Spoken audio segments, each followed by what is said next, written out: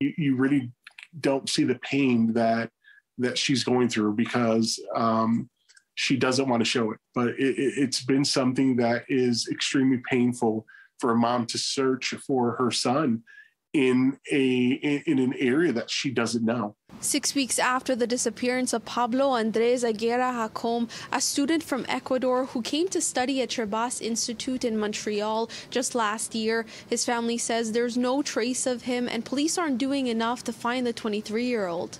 Básicamente, ¿por qué pedimos ayuda? Porque her son is very vulnerable right now. He can be anywhere. He can be um, in a um, hospital. He can be in a snowbank. He can be somewhere um, in the streets of Montreal. Jácome's mother coming to Montreal to join the search for her son, his loved ones reaching out to City News for help. Eh, la principal dificultad que me topé cuando llegué acá. The biggest thing that she's encountered in the hurdle is the fact that anytime she calls a hospital or goes to a hospital or does inquiries, they say that because of confidentiality, they can't really do anything.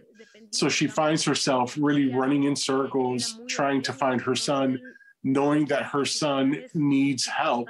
Pablo came to Montreal as an international student last October and was last seen on January 30th. His mother says she spoke to him that day and felt like he was struggling with mental health unos tres o cuatro días antes de que mi hijo desaparezca. She says in the last conversation with her son, she felt that he needed help, but told him to relax, saying she hoped to speak to him again later on in the day, a phone call that was never answered.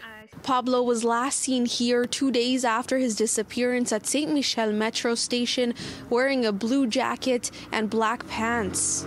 In a statement, SPVM say investigations are still ongoing, adding that they are taking the situation very seriously and are sparing no effort to find Pablo. Un chico muy sincero. He's very sincere. Um, he's a giver. He loves to help. Um, he loves to, to feed the elderly.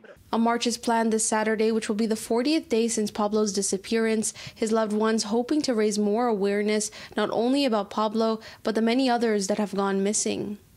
Eh, en todo este tiempo he visto muchas There's so many other missing um, children, adults in the community, um, individuals that suffer from mental health and individuals that's never been found.